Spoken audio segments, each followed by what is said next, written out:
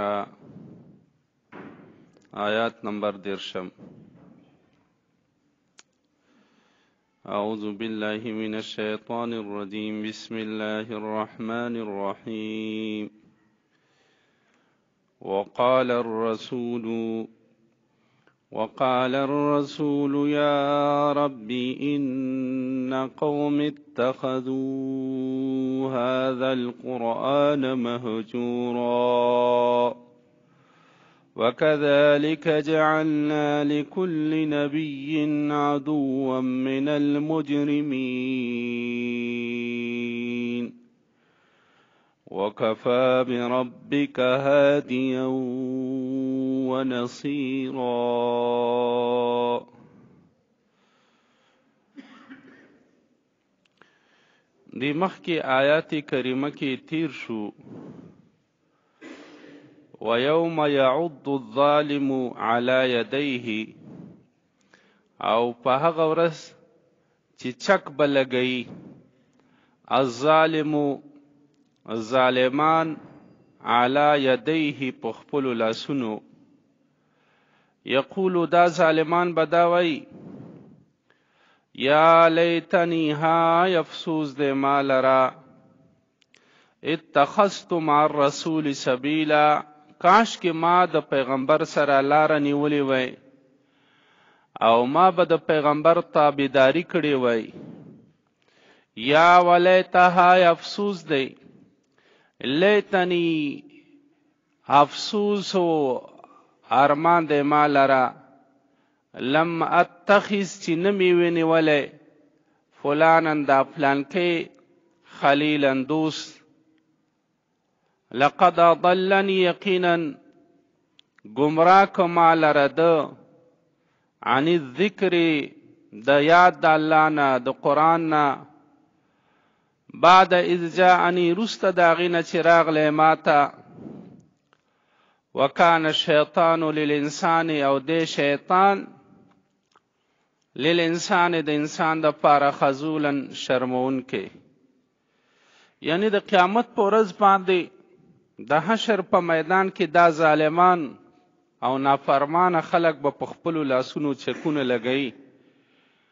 او دوی به تحسر کوي او افسوز او ارمان به کوي چې کاشکې مونږ خو د الله د نبی او د الله د پیغمبر تابعداري کړې وای او کاش کې ما د فلانکی سره دوستی نه کولای چې د چا د وجې نه زه ګمراه شوم د چا د وجې نه چې زه د ضلالت او د ګمراهۍ کندې ته پریوتلم نو دی وجنه علما لیکلي دي چې سړی تعلق ساتي او سړی دوستی کوي باید د نیکانو د صالحانو خلکو سره وکړي چې داغه د پاره د قیامت په ورځ کې د نجات ذریعہ وګرځي د فساقو او د فجارو د ګمراو خلکو ملګرتیا او دوستی دی نه کوي چې بیا د قیامت په ورځ باندې دی افسوس کوي او د قیامت په ورځ باندې دی ارمان کوي چې کاش کې ما د دوی ملګرتیا نه وای کړې او د دې د وجې نه بیا زه به نه وای ګمراه شوی حدیث پاک کې راځي نبی کریم صلی الله علیه وسلم فرمایي لا تصاحب الا مؤمنا ولا ياكل مالک الا تقی ملګرتیا او دوستی چې دی دا به د یو مؤمن سړي سره کوي دا به د یو نیک او د صالح سړي سره کوي او دا خپل مال چې دی دا بم په نیکانو او صالحانو خلکو باندې خرج کوي دا خپل مال چې دی دا بم په دیندار خلکو باندې چې دی هغه خرج کوي دیو جن بل حدیث پاک کې راځي د حضرت ابو هريره رضی الله تعالی عنہ نه روایت دی نبی له صلوات و سلام فرمای المرء على دين خليله فلينظر من يخالل سړی د هغه چا په دین باندې چې چا د د چا سره د د نشست او برخاستي د چا سره د د تعلق وي د چا سره د د دوستانه تګ راتګي نو دې وجې نه دی د خپل ښه سوچ او فکر وکړي چې زه څوک دوست جوړ کوم او څوک ملګری چې دی زه جوړ کوم چې هسې نه داسې یو سړي سره زه دوستانه او ملګرتیا وکړم چې هغې د وجې نه د قیامت په ورځ باندې او په قبر کې او د الله په حضور کې او د حشر په میدان کې بیا زه خپېمانه یم د ده په ملګرتیا باندې نو دې وجې نه د خپل دوست په جوړولو کې ښه سوچ او فکر کوئ چې د چا سره مو ناسته پاسته ده د چا سره مو تعلق دی د چا سره مو دوستی ده حدیث پاک کې راځي نبی کریم صلی الله علیه وسلم فرمایي حضرت عبد الله بن مسعود رضی الله تعالی عنہ فرمایي من ذکرکم بالله رؤیته وزاد فی علمکم منطقه وذکرکم بالآخرة عمله دوستي به د هغه چا سره کوي مجلسونه به د هغه چا سره کوي ناسته پاسته به د هغه چا سره کوي چې هغه تا ته دغه په مجلس کې ته دغه سره کینې تا ته الله در یاد شي دغه په مجلس کې تا ته الله در یادېږي هغه مجلس کې دانی چې د ګناه د معصیت خبرې یا د دنیا حرص لالچ ته نورم زیاتیږي د دنیا محبت ته نورم زیاتیږي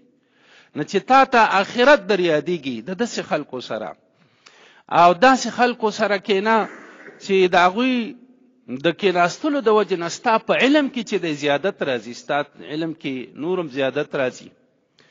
او دغه شانته داسې خلکو سره کې نه چې تا هغوی وینې تا ته آخرت را یادېږي نه چې د آخرت نه دې غافله کوي نو د دې خلکو سره تعلق او دوستی پیدا کړه وقال الرسول او وبوي الرسول دا پیغمبر یا رب ای زما پروردگارا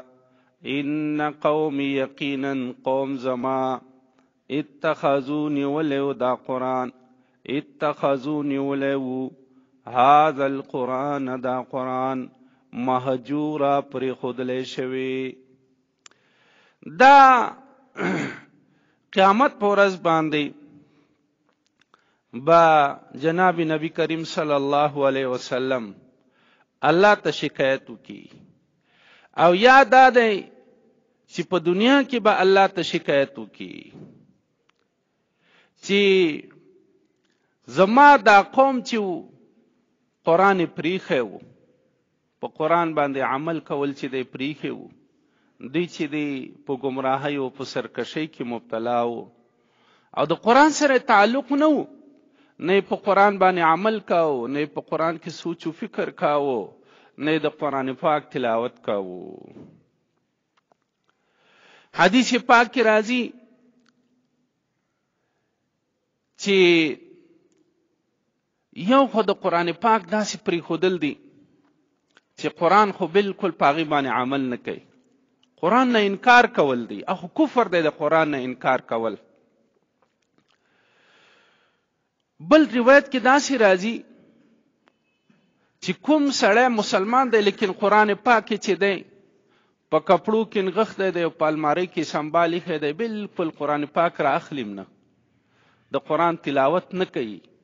د قرآن په معانیو کې سوچ و فکر نه کوي د قرآن په مضامینو کې دی سوچ و فکر نه کوي دا قرآن به د قیامت په ورځ باندې د دغه سړي نه هم شکایت کوي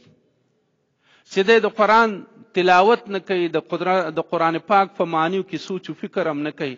قرآن به د قیامت په ورځ باندې د دغه سړي شکایت به هم کوي الله ته. حدیث پاک کې راځي نبی علیه الصلاة والسلام فرمایي من تعلم القرآن وعلق مصحفه لم يتعاهده ولم ينظره فيه یو سړی چې قرآن تعلیم زده کوي او بس نور په غلاف کې کیدي او بس الماری کې محفوظ یې خې دی نه د قرآن تلاوت کوي نه د قرآن ترجمه یا د هغې په معنا مفهوم ځان نه پوه کوي نو چې کله د قیامت ورځ سي نو د جاء یوم القیامت متعلقا به دا قرآن به د په غاړه کې پروتي او د پسوې به پیوستی الله ته به شکایت کې یا رب العالمین ان عبدك هذا اتخذني مهجورا فخزي بينك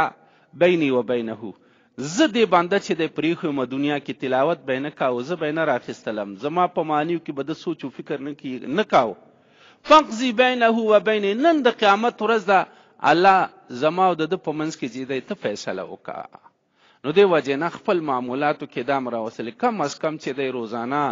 منګ باید چې یو سپاره تلاوت وکړو که سپاره نه نیمه سپاره او کنه چې کمه یو صفحه د ځان باندې لازمه کو چې زه به روزانه چې د خامخا یو ربع یو پاو یو صفحه د قران پاک چې د عزت تلاوت کوم د کې ډیر برکات دي د قران پاک په تلاوت کې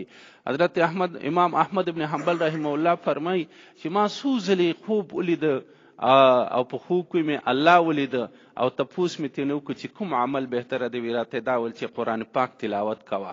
نو د قران تلاوت یو بهترین عمل دی د سره تعلق پکار دی د دې په معنی باندې د دې په مزامینو باندې ځان پوي کول پکار دی وقال الرسول او بي رسول یا رب پروردگار زما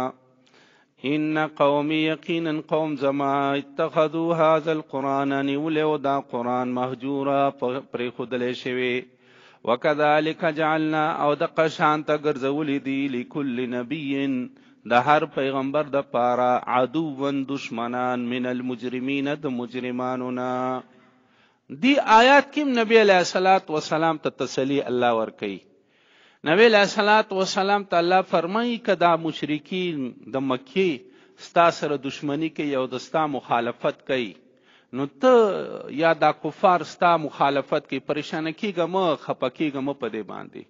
څومره انبیا چې راغلي دي او څومره پیغمبران چې راغلي دي نو پاغي کې خامخا د هغه مخکینی انبیا سره داغي سره مخالفتونه شوي دي او داغي د نبوت نه انکار شوی دی نو هغه صبر کړی دی په دې باندې نو د الله پیغمبر تم صبر کوا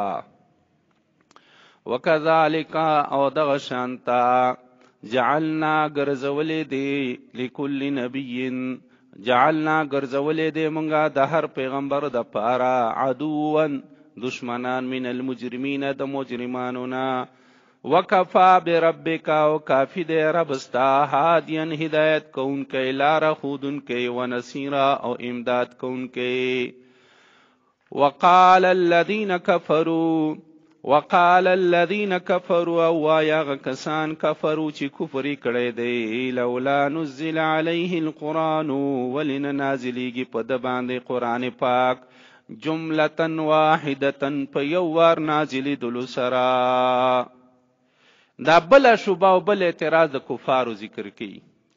یو اعتراض په کفارو باندې دا د کفارو په نبی له صلوات و سلام دا وو وې دا قران پاک خو چې دی دا نجمن نجمن آیتن آیتن او سورتن سورتن نازل شوی دی نبی علیه الصلاة والسلام ټوله زمانه د نبوت او رسالت چې دی درویشت کاله و نو قرآن پاک دا ټول آیتونه او دا ټول سورتونه چې نازل شوي دي دا په درویشت کالو کې نازل شوی دی دا ټول قرآن پاک کله یو سورت نازل شوی دی کله یو آیت نازل شوی دی کله درې څلور آیتونه نازل شوي دي د موقع مناسب چې دی الله د قرآن پاک آیتونه چې دی نازل کړي دي نو کفارو او مشرکینو دا اعتراض کاوه چې دا قرآن پاک ولې یو ځل په قرآن په نبی علیه الصلاة والسلام باندې نه نازلیږي چې کله یو آیت نازلیږي کله یو صورت نازلیږي نو دی دا ویل دا خو داسې ده لکه چې دی پکې ښه سوچ او فکر وکړي نو کله یو آیت د ځان نه جوړ کړي او کله دوه آیتونه د ځان نه جوړ کړي نو که دا قرآن پاک د الله کلام نو خو یو ځل به ټول چې دی نازل شوی وو الله وای د دغه شوبې چې دی هغه جواب کوي او هغه جواب دا کوي کذالک الله وای موږ دغه شان ته نازل کړی دی کله مو یو آیات کله مو یو صورت او دا ټول زمانہ او مدد د نزول د قران پاک چې دی دا درویش کال دی دا مدې د پاره لنثبت به فوادک د دې لپاره چې موږ په دې قرآن پاک سره ستا زړه مضبوط کړو یو خو مو آیتن آیتن او سورتن سورتن نازل کړی د دې لپاره چې د دې قرآن پاک یادول آسانه وي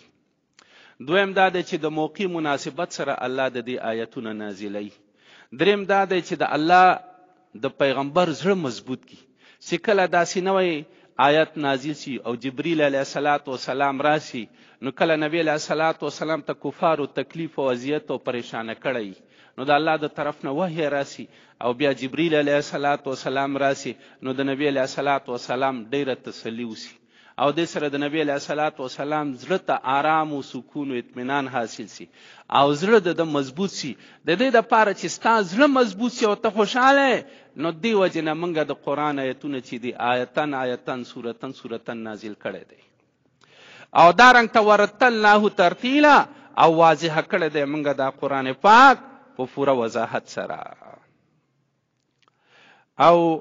الله وایي چې کله هم دا کفار او مشرکین په تا باندې یو اعتراض کوي او دوی په تا باندې یو سوال کوي الا جئنا منګه به داغي جواب کوو منګه به داغي جواب کوو د الله د پیغمبر د طرف نه او خپ وضاحت سره به داغي جواب کوو او کفار او مشرکین خو هغه خلک دي چې د قیامت پر ورځ باندې با د حشر په میدان کې دوی په سرونو باندې راخکل شي پړ مخې به راخکل شي او جهنم ته بغورځول شي وقال الذين او وای هغه کسان کفرو چې کفر کړي دی لولا نزل عليه ولي نه نازلېږي عليه په د باندې القرآن دا قرآن پاک جملة واحدة په یو وار نازل دلو سره کذالک د قشانت الله وې مونږ نازل کړي دی کله یو آیت او کله یو صورت